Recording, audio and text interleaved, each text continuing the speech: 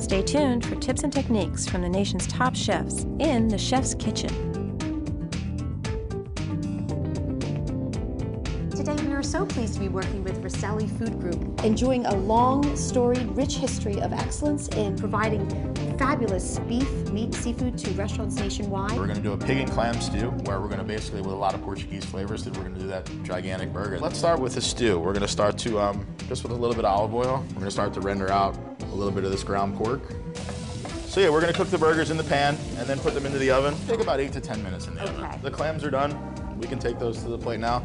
You can garnish this with a little bit of parsley or you can go as is. So the burger is gonna come out, get topped with some of that fondue, and then go back in to melt the cheese right over the top. Just covering entirely the burger.